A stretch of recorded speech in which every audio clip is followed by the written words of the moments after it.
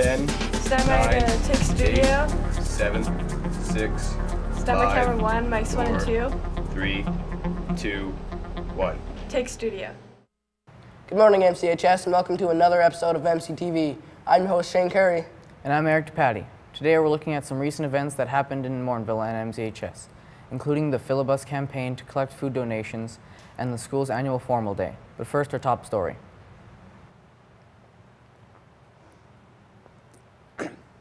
With Christmas less than a week away, the festive season is definitely in the air. Morinville kicked off the season with a bang on November 23rd and 24th with its annual Light Up the Night festival in late November. Reporter Chelsea Taylor covers this story. From November 23rd to 25th, Morinville held its annual Light Up the Night Christmas Festival. As always, there was no shortage of people showing off their Christmas spirit during the event. Christmas is a special time of year because it's about families. It's not just about the gifts and the holiday part of it. It's all about the meaning of Christmas, which is bringing people together, sharing, loving, and enjoying the time together. That's what it's all about. I think it's just um, people just coming together, people just um, kind of uh, having a peace about them and, uh, and celebrating and celebrating together and, and coming together in community like today. It's, uh, it's quite awesome. This year, the Light Up the Night Festival held 15 events, from fireworks to family games, from a huge craft sale to an indoor circus. This year's events appealed to children and adults of all ages. Well, the festival is all about bringing our community together. This is an opportunity for people to enjoy the local businesses and community that we have here in general. So it's an opportunity to light up the park and bring our entire town together. The festival is great. Um, we were down at the um, Sobeys for the baking contest, which was amazing. There was 41 entries, and that was a lot of fun. We're looking forward to having the Santa parade tonight and the, the fireworks. So, and I think it's just awesome for, for people just to be together, to share, and to yeah, be in kind of a one accord. So. Despite all the excitement of the event, including the massive fireworks display, for children, the highlight of the festival boiled down to one individual. Um, because I like that um, we get to see Santa, and sometimes we get to see his elves, and sometimes we and we get presents. According to organizers and participants, the Light Up the Night Festival was a huge success. This boils down to the hard work of all the volunteers that made it happen, as well as corporate sponsorship. Well, the sponsors are an integral part. Without the sponsors, a lot of the events that we do have couldn't be part or couldn't be part of the event. Like, for example, Service Credit Union bringing us the Circus Montreal today. Without their sponsorship, it may not have been able to happen. The 2012 Light Up the Night Festival was an incredible opportunity for individuals and families across Morinville to get into the holiday spirit a month early. Plans are already underway for next year's event. For MCTV News, this is Chelsea Taylor reporting. As part of the school's Remembrance Day observance, MCHSers are annually asked to dress up in an event known as Formal Day. From suits to skirts, student took, students took to the halls looking sharp as ever. Reporter Erica Oboshon gives us this look. Renowned.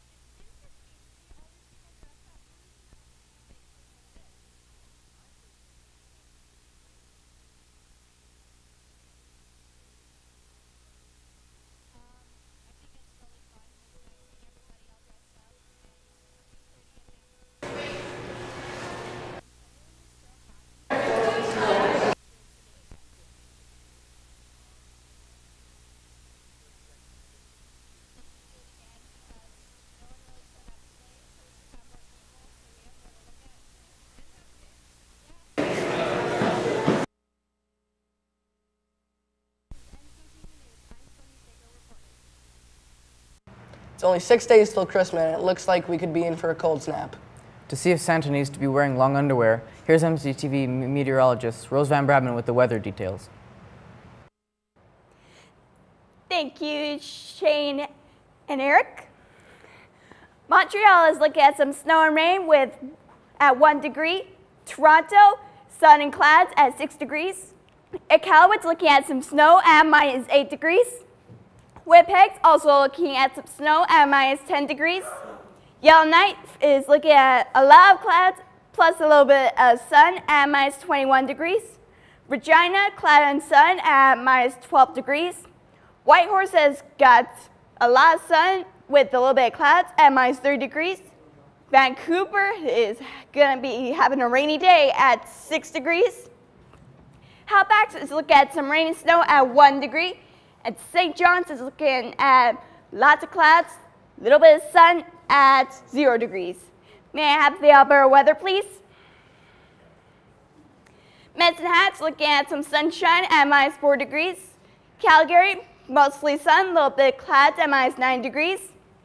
Banff is looking at some sun and clouds at minus 10 degrees. Red Deer is also looking at some sunshine at minus 14 degrees. Edmonton also at some sunshine for minus 13 degrees at minus 13 degrees.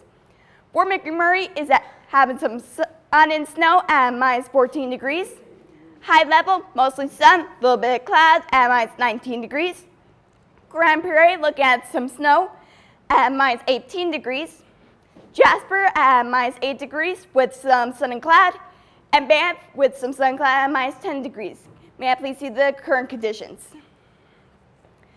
We're looking at some sunshine at minus 23 degrees.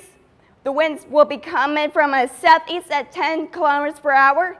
The relative humidity will be at 84%. Sunrise will be at 847 and the sun will go down at 415. May I see the weekly conditions, please? Wednesday, look at some sunshine. The highest temperature will be at minus 19 degrees, lowest at minus 20. Thursdays, look at some sun and cloud. The highest temperature will be at minus 14 degrees, lowest minus 20. Friday, we'll be looking at some snow at minus 15 degrees. At the highest, the lowest will be at minus 20. Saturdays, look at some clouds. The highest temperature will be at minus 19 degrees, lowest will be at minus 21. Sunday's looking at some snow with the highest temperature also at minus 19 degrees and lowest at minus 21. Mondays look at a lot of clouds with a little bit of sun. The highest temperature will be at minus 21 degrees, lowest at minus 26. And finally, Tuesdays look at some sun and cloud at minus 24 at the highest, minus 28 at the lowest. Back to you, Shane. Thank you, Rose. As we mentioned earlier in this broadcast, the Late the Night Festival was a huge success. Paired up with this event was the annual Filibus campaign, which raises money and food donations for the local food bank. Very own Dan Foley braved the cold and brings us a report. Didn't even drop, he didn't even drop his microphone this time. came to Sobeys to ask about Filibus and what it's about. Well, we, we, we stuff the bus. We fill the bus. we hopefully get it right full to the top. Uh, if it wasn't for that, uh, we'd be in dire straits, I'm sure. Uh, uh, this is the, the filibus is a big thing. Uh, we usually takes us pretty much over a good part of the winter with food. Yeah. and we just come and greet the people that are coming out to um, thank them for the donations that they give and wish everybody Merry Christmas. This is my third time doing Stuff a Bus. Every year I bring my two boys, uh, Nathan and Zach, and we come out and spend uh, two hours, um, always the last shift of the day is ours every year.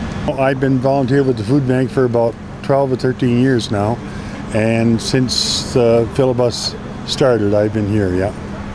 Well, we uh, we're just helping, but uh, we uh, we take care of the food hampers, and uh, we collect the food, uh, and it's brought to the uh, food bank, and then when we assemble the food hampers, we go to the food bank and and take what we need, and then the money. We also collect money, and with the monies that we collect, we buy the um, food for people to have a good meal for Christmas. You know, it's really important uh, that people realize how many families in Morinville are affected by the Morinville Food Bank, and especially at Christmas time. I know there's a lot of parents that, you know, they'd rather spend money on their kids' Christmas than feed themselves.